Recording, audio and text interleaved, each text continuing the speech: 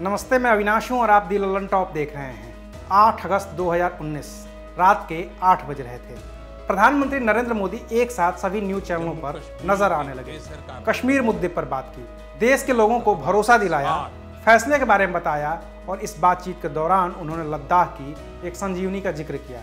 क्या बोले, आप खुद ही सुन लीजिए। साथियों, जम्मू कश्मीर के केसर का रंग हो या कहवा का स्वाद। सेब का मीठापन हो या खुबानी का रसीलापन, कश्मीरी शाल हो या फिर कलाकृतियाँ, लद्दाख के ऑर्गेनिक प्रोडक्ट हो या हर्बल मेडिसिन, इसका प्रसार दुनिया भर में किए जाने की ज़रूरत है। मैं आपको एक उदाहरण देता हूँ। लद्दाख में सोलो नाम का एक पौधा पाया जाता है। जानकारों का कहना है कि ये पौधा हाई एल्टीट्यूड पर रहने वाले लोगों के लिए, बर्फीली पहाड़ियों पर तैनात सुरक्षा बलों के लिए ये संजीवनी का काम करता है। कम ऑक्सीजन वाली जगह पर शरीर के इम्यून सिस्टम को संभाले रखने में इसकी बहुत बड़ी भूमिका है। सोचिए ऐसी अद्भुत चीज़ दुनिया भर में बिकनी चाहिए कि नहीं बिकनी चाहिए? कौन हिंदुस्तानी नहीं चाहेगा? जब प्रधानमंत्री ने सोलो का ज़िक्र अपने भाषण में किया तो तमाम लोग इसकी खोज में जुट गए। आज तक ने भी इस पौधे को खोज निकाला। ये पौधा लद्दाख में खरदुंगला के पास 18,000 फुट की ऊंचाइयों पर मौजूद था। लद्दाख के लोग इस पौधे को सोलो कहते हैं। वही वैज्ञानिक इसे रोडियोला के नाम से जानते हैं।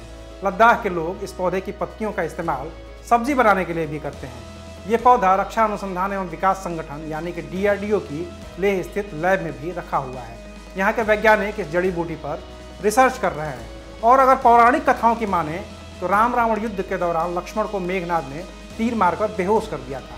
इलाज के लिए उन्हें संजीवनी बूटी की ज़रूरत थी और तब हनुमान जी संजीवनी बूटी का पहाड़ उठाकर लाए थे। वो यही सोलो पौधे का पहाड़ था। लेह में डीआरडीओ का एक ऑफ़िस है जिसे defence institute of high altitude research यानी कि डी कहते हैं। इसके डायरेक्टर हैं ओपी चौरसिया। उनका कहना है कि लेह जैसे इलाके में याददाश्त कम होना, कमज़ोरी और ऊंचाई से डर जैसी बीमारियाँ होना आम बात है। वैज्ञानिक पिछले 20 साल से इसका इलाज खोज रहे हैं और इसी खोज के दौरान सोलो में वो गुण पाए गए हैं जो ऊंचाई पर सैनिकों की क्षमता बढ़ा सकती है। सोलो में रेडिएशन रोकने और कैंसर रोधी क्षमता समेत किसी भी बीमारी से लड़ने के गुण हैं, इसलिए हम इसे संजीवनी कहते हैं। सोलो पर रिसर्च कर रहे डीआरडीओ लैब के मुखिया ओपी चौरसिया के मुताबिक, जल्दी ही सोलो को दवाएँ बनाने में इस्तेमाल किया जाएगा। ये दवाई सैनिकों के ही नहीं, आम लोगों के लिए भी फ़ायदेमंद होगी।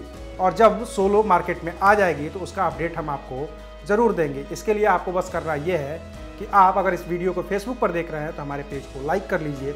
अगर आप इसका यूट्यूब पर देख रहे हैं तो चैनल को सब्सक्राइब कर लीजिए। गूगल प्ले स्टोर पर हमारा एंड्रॉयड ऐप है, उसे डाउनलोड कर लीजिए। देखते रहिए, पढ़ते रहिए the Lallantop dot com शुक्रिया।